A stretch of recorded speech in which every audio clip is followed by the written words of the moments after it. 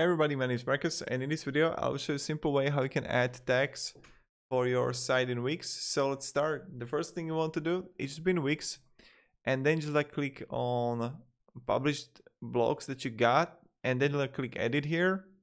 And when you're gonna do it you're gonna see tags here. Click on tags and you can simply add a tag here. Add a tags that describe what your post is about. Readers can use them to find other posts with similar content.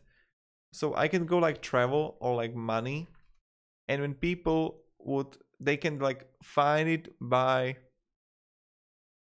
the tags and i recommend doing it for everything here.